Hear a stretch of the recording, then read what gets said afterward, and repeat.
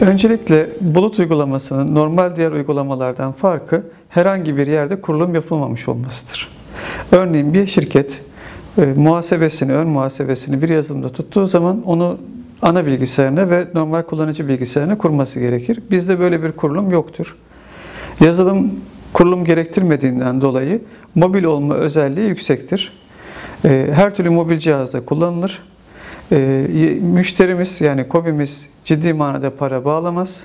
Örneğin bir yazılıma 3 bin lira, 5 bin lira, 10 bin lira bir seferde e, tek kullanıcı vereceğini bizde 20 lira, 30 lira, 50 lira işte paketin büyüklüğüne göre 100 lira, 200 lira şeklinde de verebilir. Temel ayrıcalığı mobilitedir. Diğer ayrıcalığı düşük bütçelidir. Diğer ayrıcalığı toplu bir yatırım gerektirmez.